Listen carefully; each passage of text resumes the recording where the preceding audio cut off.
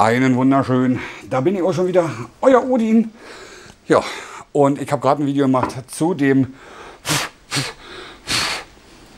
WQHD Monitor von LG.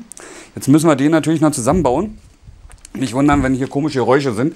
Es ist bei uns mega mäßig stürmisch. Und äh, im Unboxing war ja das mit bei. Das müssen wir jetzt hier einfach nur raufstecken.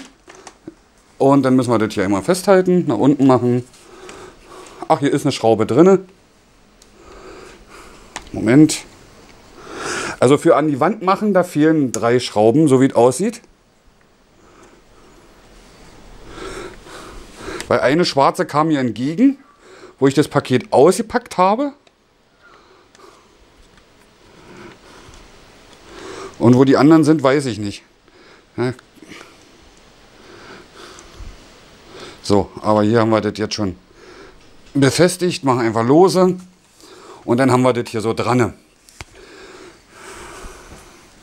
Dann, wofür die jetzt hier sind, weiß ich aber nicht. Werden wir bestimmt noch rausfinden. Also sind also alle klar.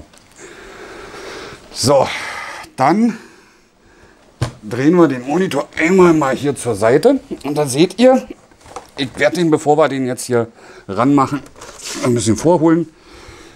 Hier kommt es dann ran. Hier unten haben wir so einen Schieberegler. Den müssen wir dann nach unten machen. Aber eigentlich brauchen wir hier den nur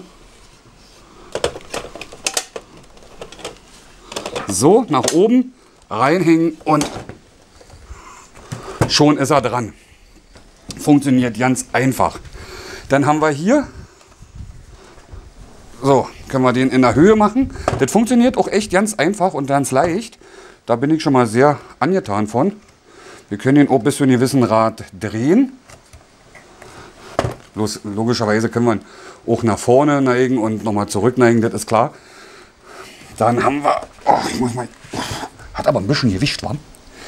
So, dann haben wir hier vorne, haben wir Displayport, HDMI, dann haben wir hier den USB-Kabel und hier oben zwei USB und da unten nochmal einen dritten USB. Den kann ich jetzt nicht sehen. Das ist ein, glaube ein optischer Anschluss. Den kann ich jetzt von hier aus nicht sehen. Wenn wir das wieder lösen wollen, hier haben wir hinten so einen, so einen Nippel, dann können wir das einfach auch wieder lösen. Wollen wir aber nicht. Wir wollen das ja dran lassen. Und das, was wir hatten, das kommt hier einfach rein. In die, wir haben hier so, ja, so Aussparungen, würde ich sagen, so Schlitze. Da können wir das jetzt hier so reinmachen. Das ist dann reingeklickt. Und da können wir dann hier hinten die Kabel reinmachen. Das heißt, äh, die Kabel gehen dann hier rüber, hier runter. Na.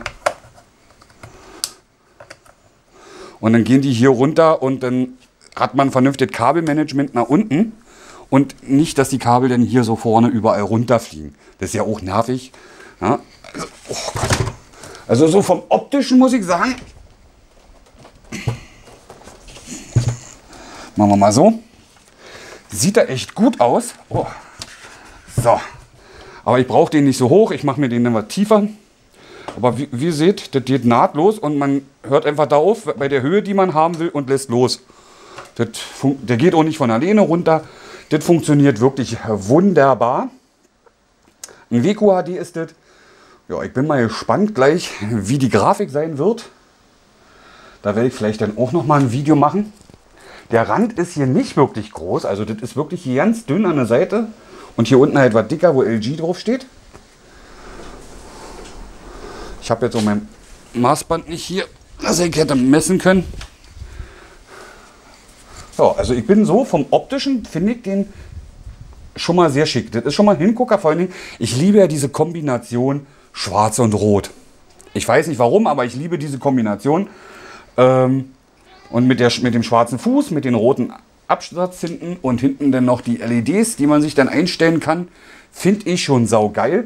Und vor allen Dingen, dass die Steuerelemente hier direkt mittig vom LG-Logo sind. Hier haben wir dann hier unten laut leise und hier einen Knopf, wo wir dann halt an aus machen können und links, rechts, vor, zurück machen können. Das ist schon mal sehr gut. Besser, muss ich sagen, gefällt mir besser als bei Samsung.